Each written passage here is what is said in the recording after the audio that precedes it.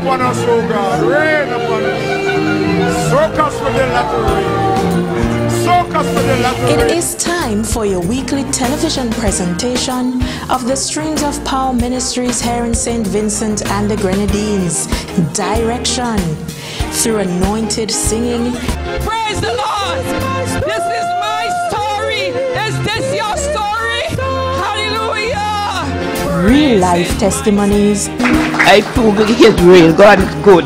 I know I have prayed, and what I prayed for, God really granted unto me. and powerful messages from the pulpit. I beg you in Jesus' name, stop doing what you know is wrong. Get out of that. God has an abundant supply for you. We need a revival in parliament. We need a revival in cabinet.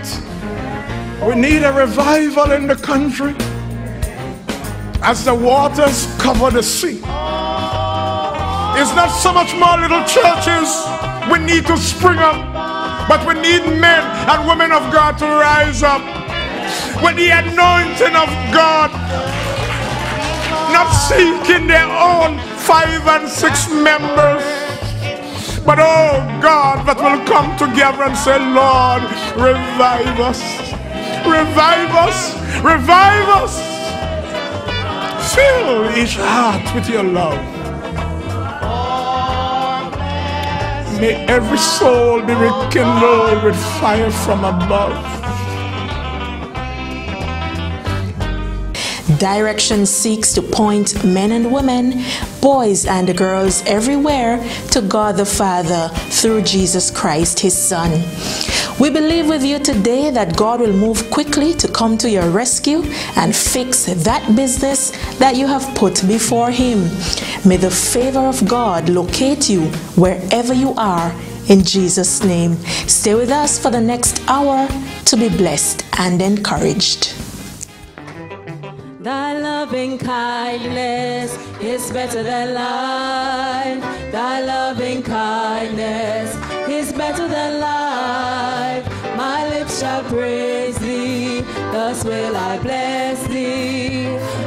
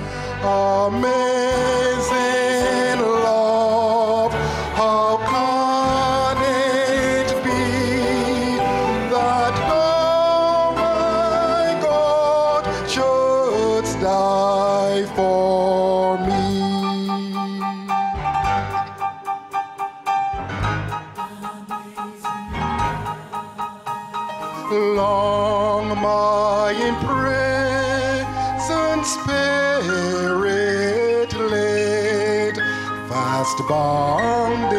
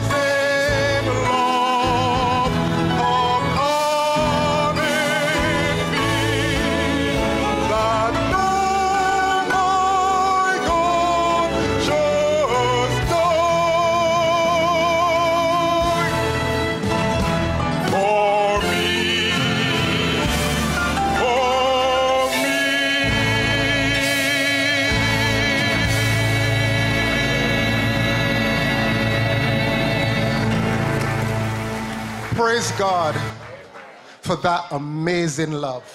Hallelujah. I'm not preaching. I just want to share a little. That's okay.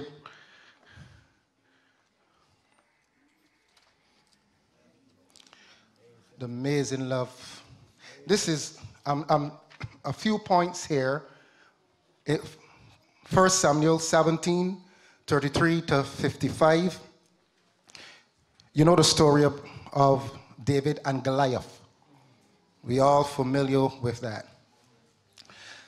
Number one, David accepted the challenge to face that giant. In verse 32, David said to Saul, Let no man's heart fail because of him. He was uncircumcised, he was a Philistine.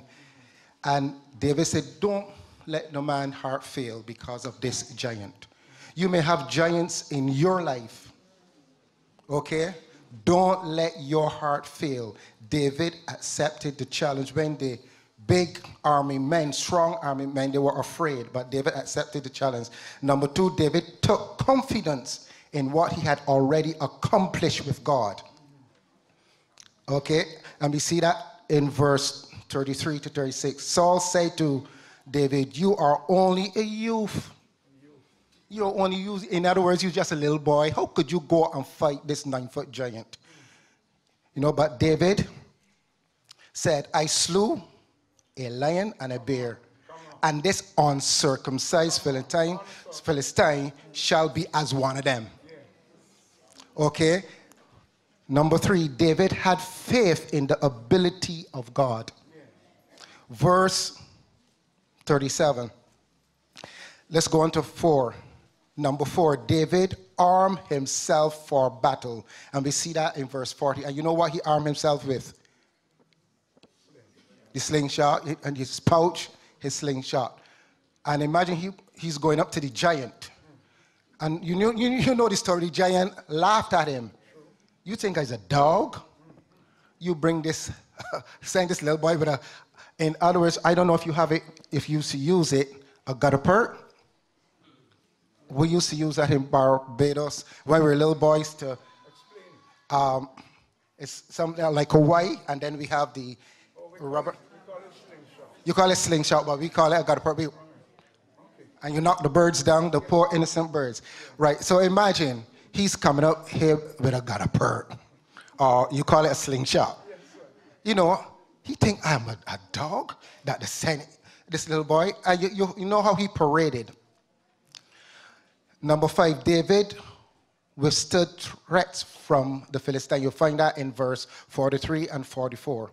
Number six, David spoke faith in the midst of adversity. verse 45. Da- Number seven, David prophesied to his giant. He prophesied to the giant. And what did he say? He said, This day. He didn't say tomorrow. He didn't say next week. But this was prophecy. He said, This day. Okay? David, he, you see, he was fed up with this giant coming every day. Fed up. And we have to get fed up. We got to be fed up with our giants. You know what your giants are. I don't know your giants. The giants that are in your life, you got to get fed up with those giants. And he said, This day, not tomorrow. Okay, what he's going to do? What he's going to do? Help me here. What he's going to do? The Lord is going to deliver. I am going to, your, your body, your carcass to the fowls of the air, to the wild beasts of the field. And the giant couldn't understand that. He laughed.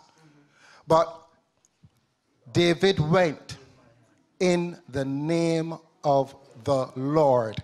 You see, we can't go in Pastor Daniel's name. We can't go in Pastor Simmons' name.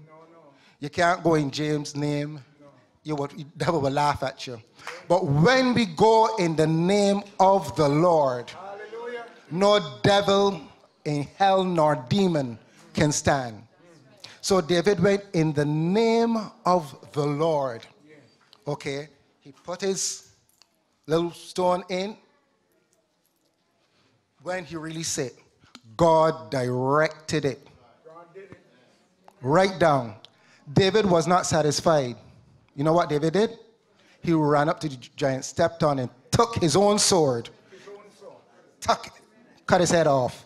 You see, we have to, when we slay our giants, we have to cut the heads off. They can't come, yeah, they can't come back. We have to cut the heads off. This morning, you know what your giants are. Okay? It may be sickness, and you name them. But in the name of Jesus, slay them and cut the heads off. Thank you, Jesus. Praise God. I'm going to ask the choir to come at this time, and then uh, Michael is going to share his testimony.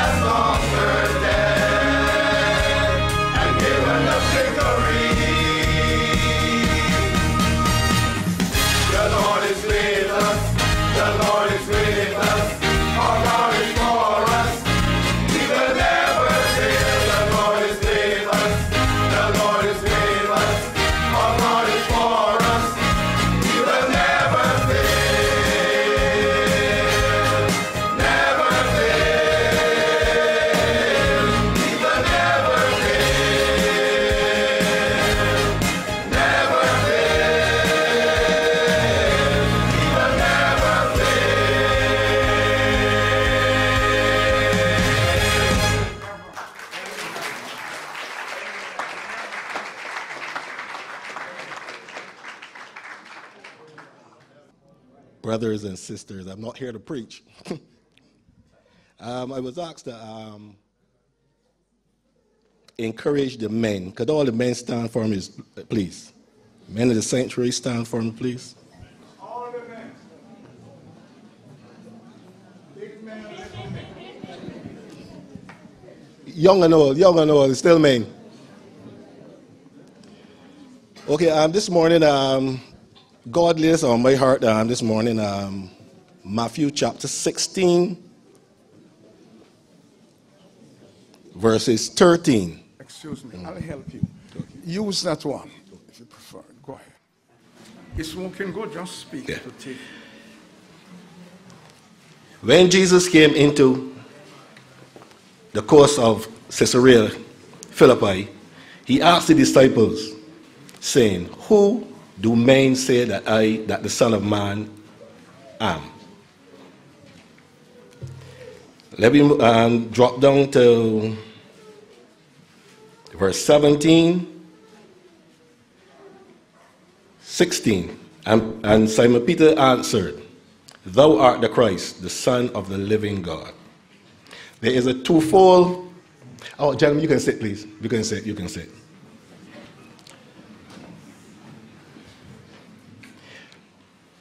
For us men, you know, we hear um, the names, some of the names that people call us. Who, and Jesus asks, 2,000 years ago, who do men say that we are? And I know that um, some of the names that they give us uh, don't be too sweet. Now, I don't know about here, but in Barbados, when uh, men are being bashed, some of the names they give us is really outrageous. And I guess because men tend to build their own reputations. But here in um, verse 16, God revealed unto Peter who Jesus was. I'm here to encourage all men, despite what is said, what men might say about us, what mankind might say about us, on who we are, what we are. It does not matter. It is what God says we are. You see, uh, Jesus said that flesh and blood did not reveal that unto Peter. It was God, his Father in heaven. So I would like to encourage all men, despite what they are said and people say about you, young and old, it does not matter. What matters is what God says about you. Thank you.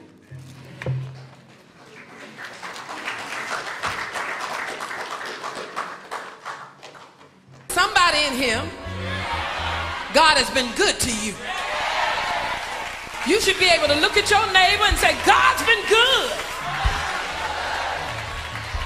Somebody ought to have a testimony. Can I get a witness? If God's been good to you, you should not testify how he brought you through. He said he had an attack. He came over by me, and um, I know he could not go back home in that state. I had to get prayer for him.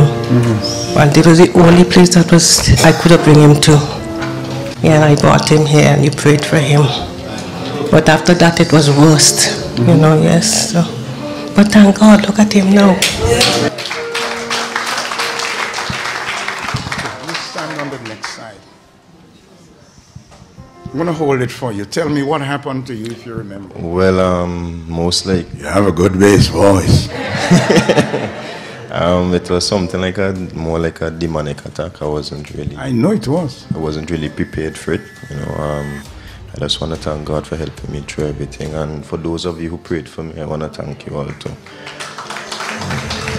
You know, you actually refused the prayer the first time, and when we start to rebuke what we saw in you that should not have been in you, you actually walked out of the church. You know that, but you had to come back. Yeah, I had to. This is the house of God, so I have no other choice. And you're a young man, there's no need for the adversary to control your life. No need. What do you feel like today? Well, I feel strong. I do a lot of reading, a lot of praying, you know, so strength in the spirit. It's like the scripture in the book of Mark. When he came, he could not sit down. But now he's sitting and he's clothed in his right mind. He didn't come as a member of this church, neither is he a member, baptized member of this church.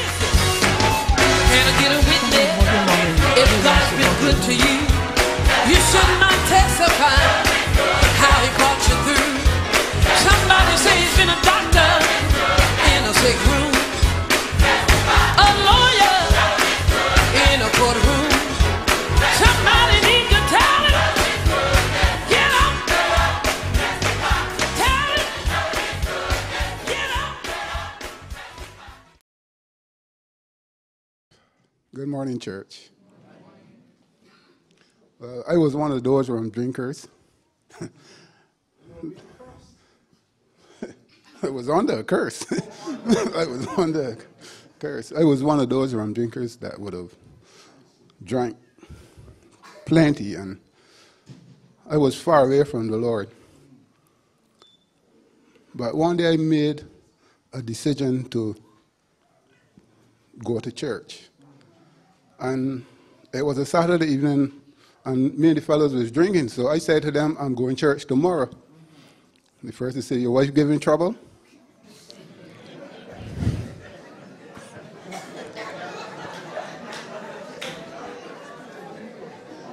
Uh, so my reply was, if she's giving trouble, then I'm going the right place. So I decided and told my friends I'm going to church, so they couldn't believe that I going. The Sunday morning I got up, my wife got up and she got ready for church. I got up and bathed and went in dress. She asked me where you going. I said going to church. She said you for real? I said yes, like going to church. Because this year all started by, I wasn't a Christian, but I would normally get up on mornings and watch TBN. And for some reason I don't know why, Rod Parsley will always say to me, that's how I put it, as he was saying to me, you know the Lord have a purpose for you. I said, what the Lord, a purpose for me? I was just a rum drinker. And because I could not really read and write, to me that sound like foolish. But anyhow, I got up and I went to church on that Sunday. That was 16 years ago.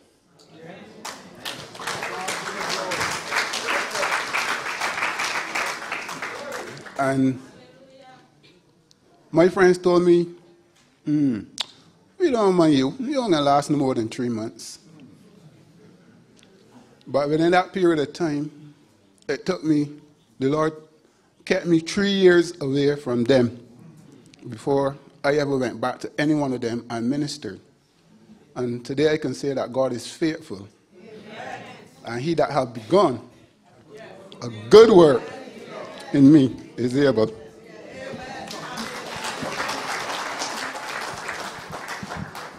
You, you, you gave a very proper and wise answer. When you, if and when you get trouble, the best place to go is where?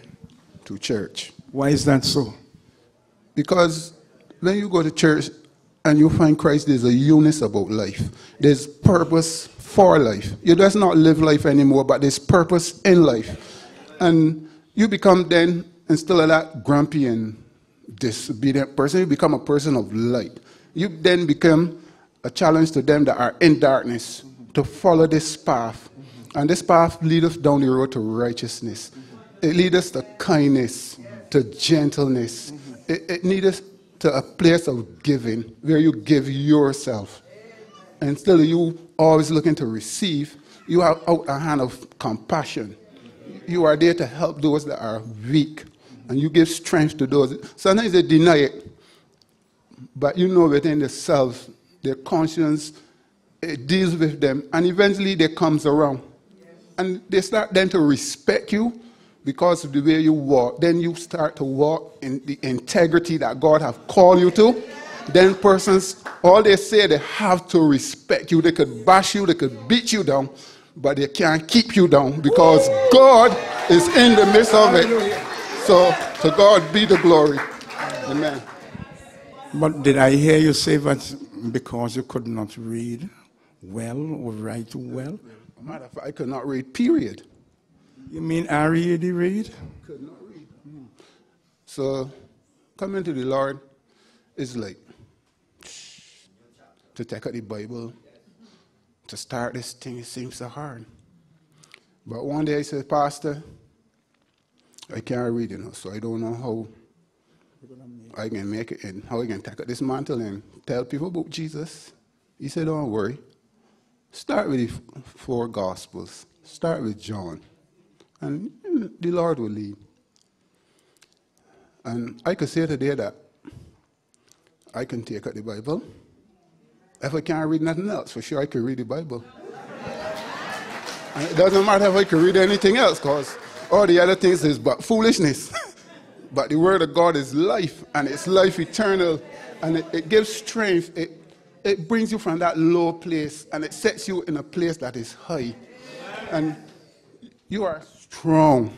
You are able to face the ties of life because the ties will come. There's times when the ties come and they come hard. They beat upon your heart. But I want to know that there's an arm that is undergirding and it is there to help you and to guide you through. So this God that we serve, he's a faithful God. And he's strong. And his promises are yea and yea amen. His word. I wanted to pray for men today. Some of them are in the same condition and they're embarrassed. They figured they wouldn't amount to anything more than going to the nightclubs. Some of them not even nightclubs, but street bars and so on. And the people will call them names. But look what God has done for you. Pray for men. Somebody might be listening now. Now we're reaching not only people in this building. Somebody's saying, well, if God did that for him. Hallelujah. Father, in the name of Jesus, I give you praise, oh God. I give you glory. Yes. And I give you honor. Yes, Lord. I thank you, Lord, for this opportunity, Lord, that I could stand in your presence and declare that you are faithful, Lord. Yes. Lord, I bring men before you this morning, Lord God. Lord, I speak into the airways even now, oh Father God. Lord, I come against low esteem. I bind that spirit right now in the name of Jesus. Lord, I set every man free right now in that liberty, oh God, to hear your word and to receive your word, Father God. Father, in the name of Jesus. Lord, I pray, oh God, that hearts before you will be soft again, Lord. Lord, I pray, oh God, that men will learn to fear you again, oh God. Lord, that when your word go forth, Lord, that it will go forth with conviction, Lord. That the lives of men will be changed, oh Father God. Lord, I pray for deliverance for men even now, oh Father God. Lord, I come against every stronghold, oh God, of the enemy, oh God, that he have put upon men, Lord. Lord, I break every stronghold right now, every stronghold of addiction, oh God. I break it right now in the name of Jesus. Lord, I set men free and at liberty even now, O God, to receive you, O Father God. That they may know the love of you, O Father God. Lord, that they may know the keeping power of you, O Father God. So, Lord, I commit all men into you, Father, Lord, in the mighty name of Jesus. And I give you all the praise and all the glory. In Jesus' name, amen.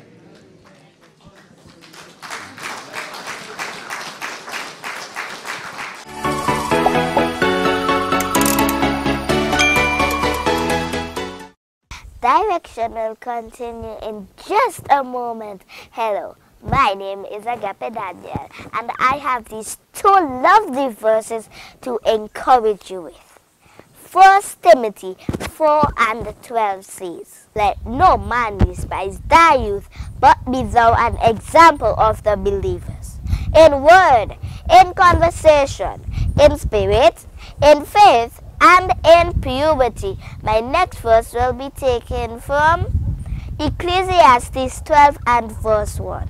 Remember now thy Creator in the days of thy youth, while the evil days come not, nor the years draw nigh, and thou shalt say, I have no pleasure in them. So that's all the verses I have for you on direction. And my name is Agape Daniel.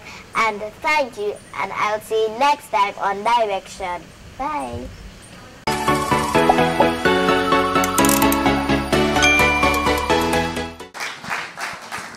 It's not about me.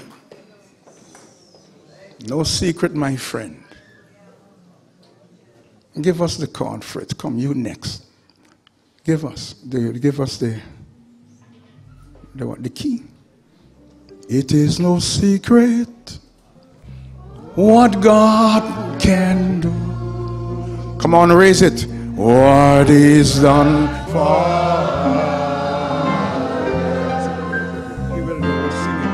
He'll do for you.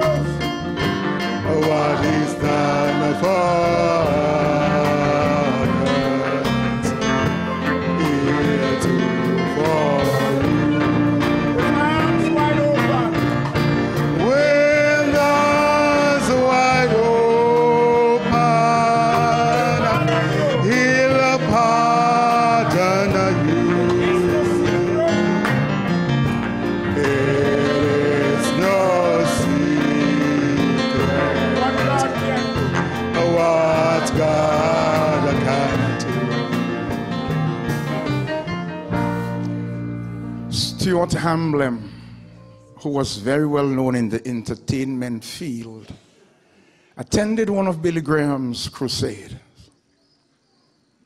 And when the altar call was given, he resisted it.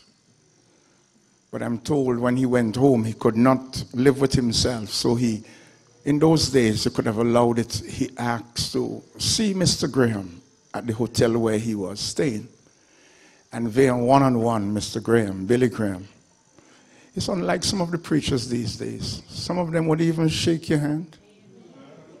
Some of them would even say, Hello, how are you today? But Billy Graham allowed him, not even knowing who he was, but allowed him to have a talk with him.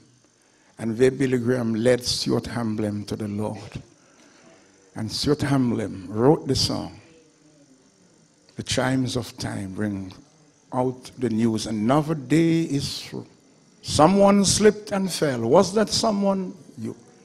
You may long for added strength, courage, your strength, thank you, your strength to renew. It is no secret what God can do. Your story, I believe, is different. I don't know. You tell it. Okay. Morning. Morning again. Uh, this testimony is not exactly about me, but it is one that affected me years ago. And now coming here and hearing about the little boy, 15 years old, that died and was buried yesterday, it brought back a whole flood of memories to me about things that happened before. And it's not my son, it's um, this family that we all were together. And they had a son who was 16 years old. His name was Michael. And this youngster was in his house. And they had a crusade upon the pastor above his house. So you can hear the words, you can hear the crusade coming down. And he just got up his house one day, went to the crusade, and in that same night gave his life to the Lord at 16 years old.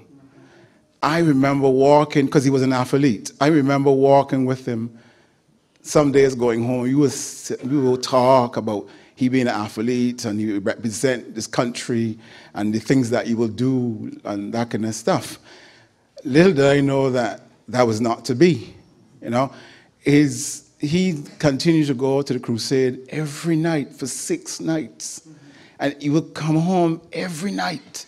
And he would always tell his cousin in the house, because there was his, his, a whole set of family, he would tell his cousin that he was sleeping in the bed with, he would say, You got to get saved, you got to get saved. And so, so much so that the cousin just, at one point, just refused to sleep in the bed with this boy. But, you know, and little did we know that within a matter of days, that this little boy was, this youngster was going to be taken away from us. And, you know, it, it, it how should I say, this stuck with me because I had just given my life to the Lord. And I didn't understand a lot about, you know, they say that the, you're supposed to bury your children.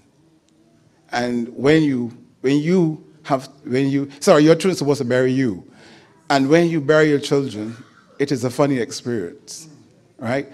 And so I can empathize with the families that are here who had to go and bury a friend and family.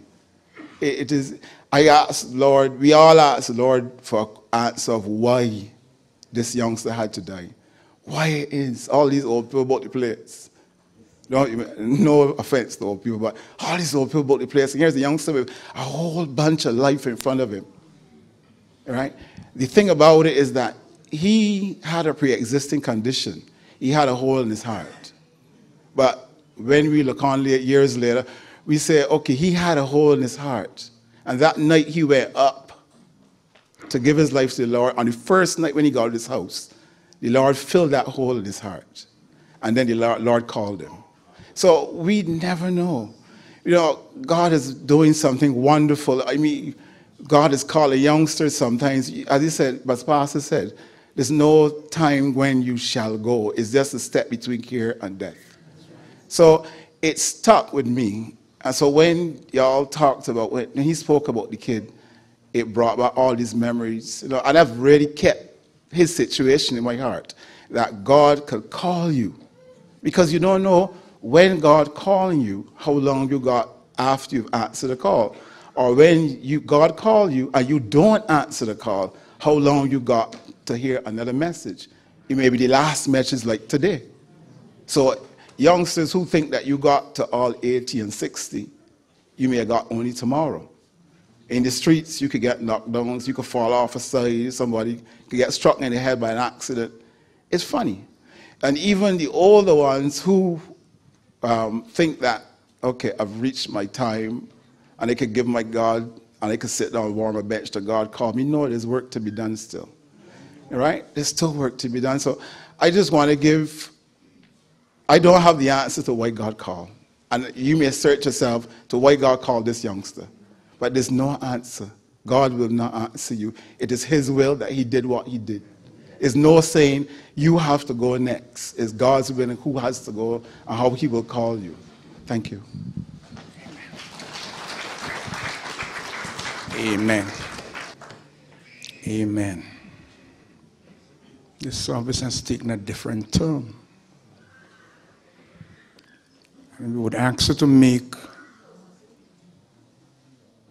a decision for Christ, an intelligent decision. Really, according to the scripture, it's only fools that make a mock of sin, according to the scripture.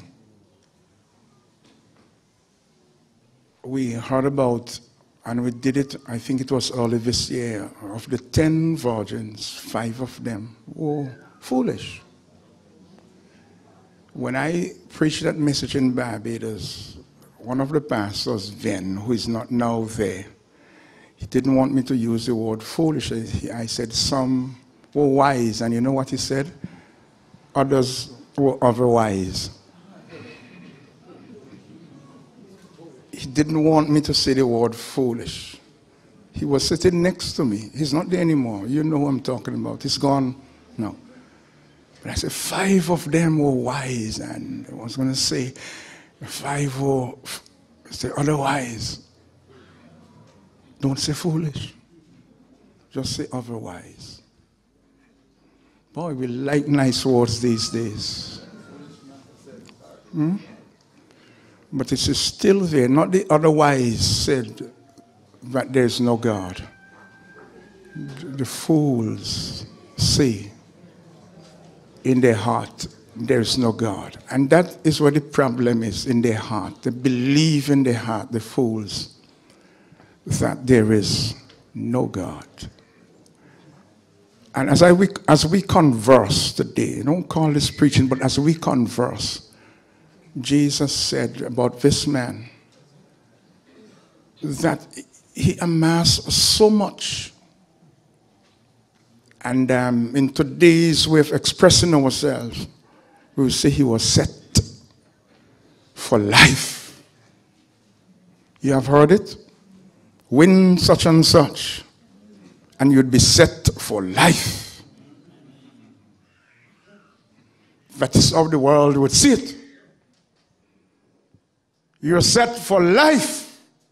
If you could just get the jackpot. Set for life. But this man had more than what the local jackpot might be putting up.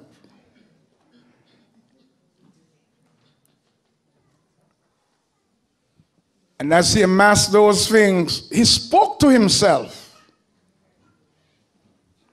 Said, I have a lot of goods laid up for many years. I don't have any need to worry. My barns are bigger than they were before.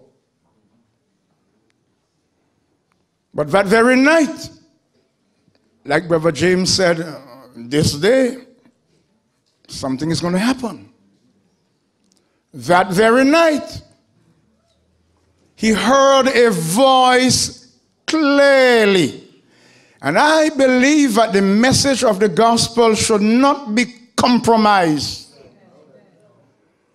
We must say it loud and clear to everyone God loves the world. We heard it before, but He gave His only begotten Son, not to save some of the inhabitants of the world, but the whole world. Whosoever believeth in Him should not perish, but have everlasting life. So, what did that man who thought he had it set for life, what, what did he hear? No fool. This night, thy soul is required of you. And who is going to enjoy your inheritance? Who is going to inherit the things that you amass? Think about it. Jesus usually put us to think. Just think about it. Some funerals are very happy ones where loved ones are sent off, but others are um, lots of bad and quarrelsome spirits are in them because some don't think about the loved ones, what they lay to rest, but they think about what is left behind, how it's going to be shared. Sometimes brothers and sisters, and sisters and sisters, brothers and brothers never talk again. Not pleasantly.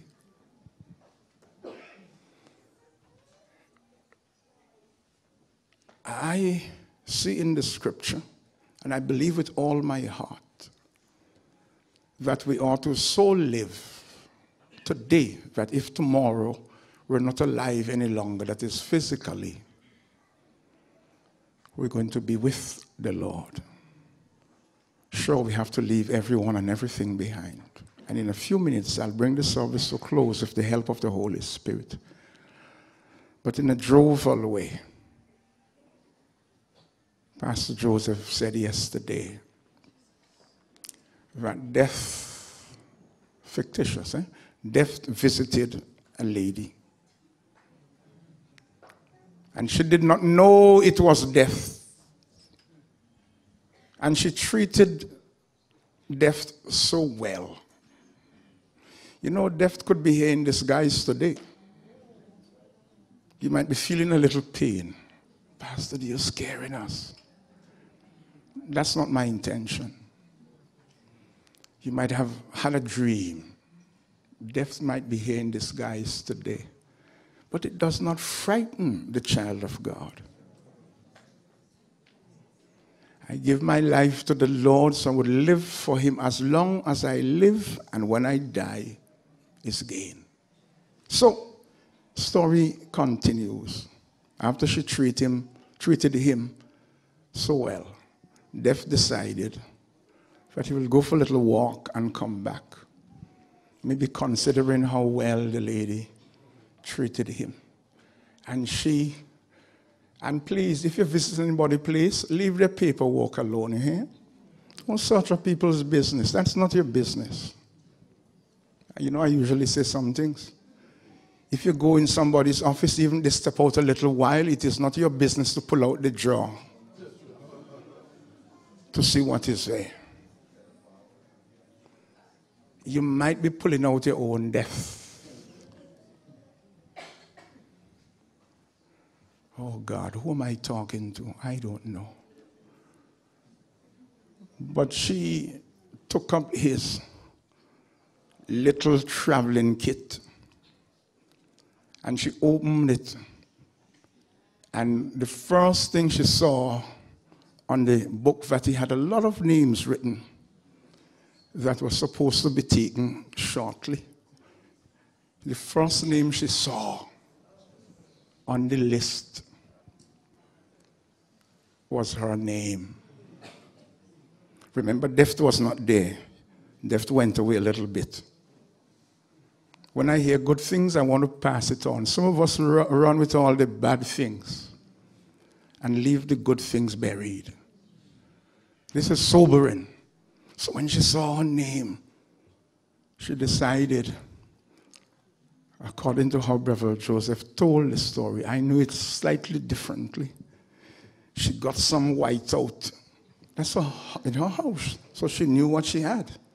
And you know, white out, white out could uh, um, erase your anything you want. She wiped out her name because death was going to take her. And she put her name to the bottom of the list that death had. So when death came back, she was looking, you know, acting as though she did nothing, but she only mind her own business. All the time she was in the business of death. And death started to speak to her before he opened his pouch and said, You know, you've been so kind to me. You treated me so well. And I had come really to take you today. Because you've been so kind to me, I shall not do it. I'm going to take the last person on the list.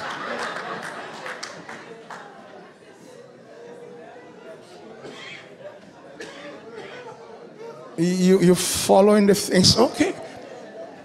After you've been so nice to me, I repeat, I would leave you for the last, not you today. And so when he went to the last name on the list, it was her name. We cannot trick or deceive God. We may trick or deceive others, but we cannot do that to God. The people did as you did, they laughed, most of them. And it's okay to laugh. But it's no laughing matter to leave this world, leaving all the riches behind, all the loved ones behind, all the company that influence you to do otherwise than to serve God. That ain't going to be no laughing matter when you stand before God alone. So it is time to ask the Lord to help you make the right, wise decision to accept Him and to serve Him for the rest of physical life. I'm going to ask you to bow your heads just to save you from distraction. We're going out in the open today in the will of the Lord. One of the young men who traveled with Pastor Williams, age 35, he was at that time. I mean, he was such an asset to the ministry. He sang like nobody else could. But he got sick. And he said in the testimony is that he knew that God was not going to heal him. He arranged his funeral service. And what happened on the day of his funeral, there were those who stood in the gap for him. And one of the songs the choir sang then, I remember as though it was yesterday funeral. I'll be standing in the gap for you. As I look at the young brother of Akila Latham yesterday, Spirit of God, I believe, was saying to me, just go and pray for him. Pray for him in such a way that he would rise to the challenge and where his brother did not reach and what he didn't get to accomplish, that he would be able to do it.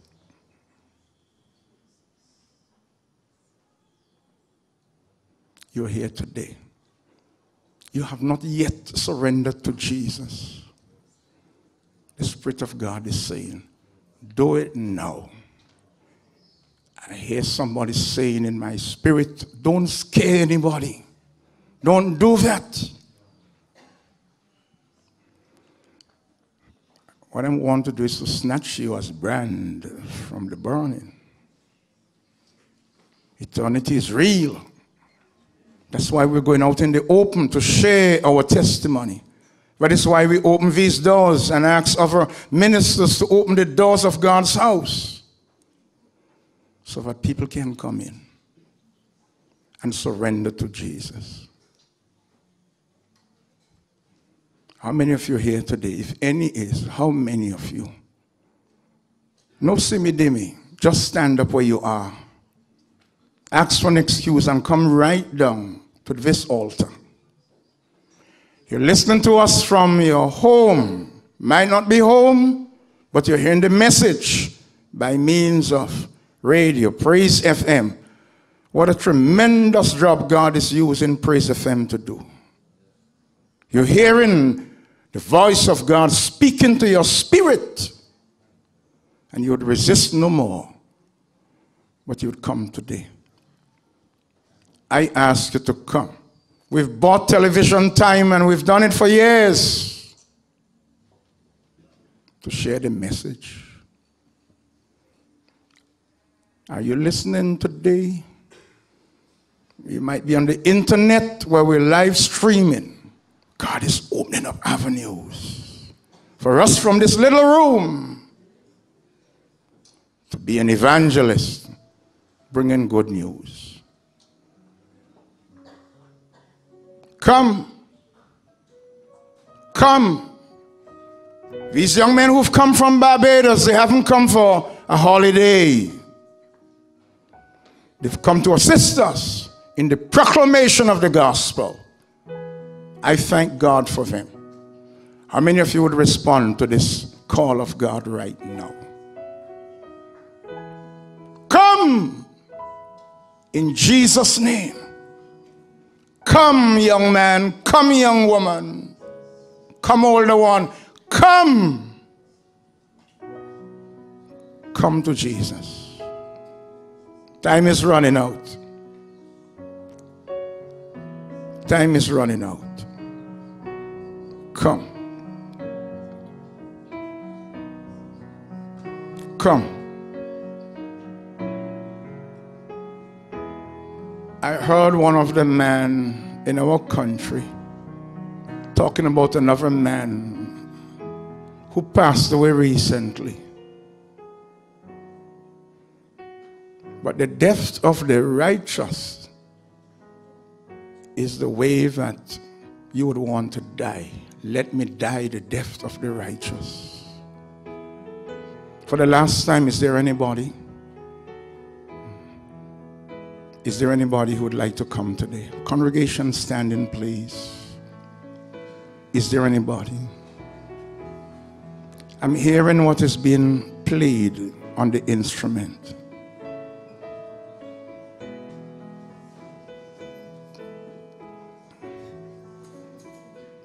What are you going to be remembered for?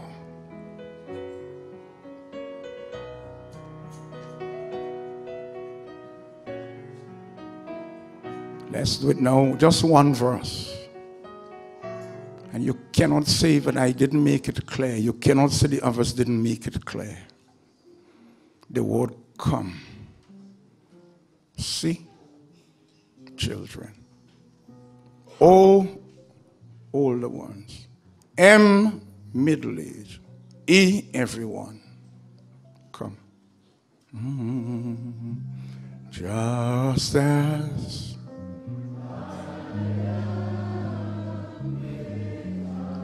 the Holy Ghost is here to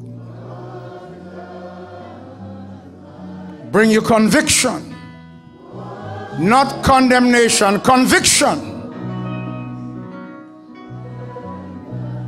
So that you can commit your life to the Lord. Will you come? Is there somebody listening from elsewhere? You want to dial 456 1636.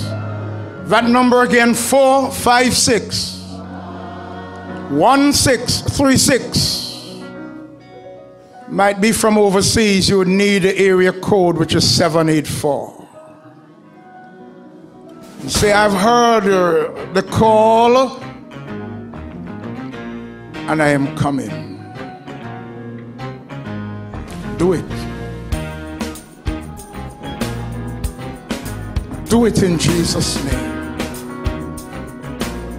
I come to you whose blood can cleanse each spot. O Lamb of God, I come.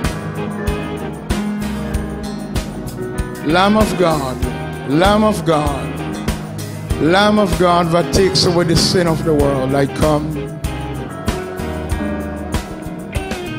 We are out of time. We have to stop there for today, but I trust that the Word of God will have free course in your hearts. If we can be a further help to you, please get in touch with us and let us know. You can write to us at Direction PO Box 443, St. Vincent, West Indies. You can also call us at 784 456 1636 or visit us online at streamsofpower.com. And on a Sunday morning, feel free to join us for worship at any of our Streams of Power locations, whether at Sanssouci, 9 a.m. on a Sunday morning, Carré at 8 a.m., Sion Hill at 7.30 a.m., or Paget Farm Bequia at 8.30 a.m. We'd like to extend a heartfelt thank you to those of you who continue to partner with us through your prayers and financial contributions. In this season when some are hoarding everything to themselves, be reminded that God still loves a cheerful giver. And as you continue to give into His work, may He honor His word as He has said, Prove me now and see if I will not open up the windows of heaven to pour you out a blessing that you will not have room enough to receive. We look forward to hearing from you. So until next time, may God bless you richly.